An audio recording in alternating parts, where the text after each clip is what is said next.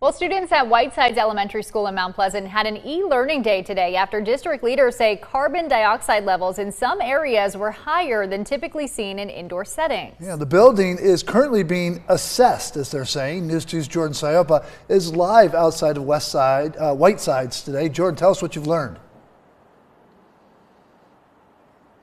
Brendan and Aaron, to begin, the district says that the uh, carbon dioxide levels were well within OSHA standards, but they decided to keep students and staff home out of an abundance of caution. Now, today I've had multiple people reach out to me with their concerns about this building, and they say they've had them for years. Longtime teacher Kirsten Bowman has spent the last five years at Whitesides Elementary School. She says a few years ago she began to experience headaches and other respiratory issues. Finally, I just got to the point where um, I was like, this is just not normal. In the summers, my headaches would go away. I would ha not have fatigue. I would be fine. Bowman says many teachers in the building share these concerns, and she's even received several emails from parents who noticed the same ailments in their child. When school resumed this year, so did the problems. Her fourth grader symptoms caught Bowman's attention. And I just noticed the kids were all sniffling and runny nose and like lethargic and it just didn't have the energy that a bunch of nine, 10 year olds should have. She met with the school's facilities team earlier this month to address her worries before they checked certain classrooms last week.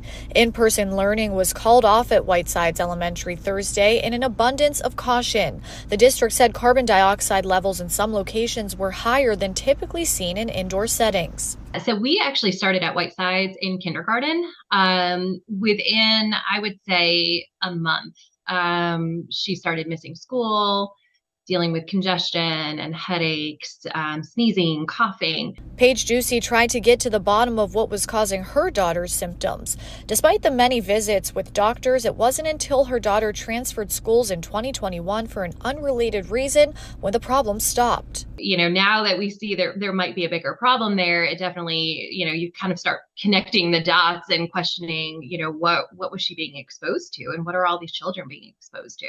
Bowman says she wants to see the CO2 CO2 levels for herself and for repairs to be made before she feels safe enough to go back to school. Um, I need written proof, and I need written proof from a company outside of CCSD that, um, you know, I, either we get a consultant that has no, no affiliation with CCSD to come in to the schools Now, the district said in a notice sent to families that their an HVAC system in, uh, inspection this week revealed that some of the outdoor units were not performing at 100% capacity, which can lead to those higher CO2 levels. However, those units are being repaired. They're also ordering parts for the rest of the units, and they say they're adding CO2 monitors throughout the school. Reporting live in Mount Pleasant, I'm Jordan Siopa. Count on two.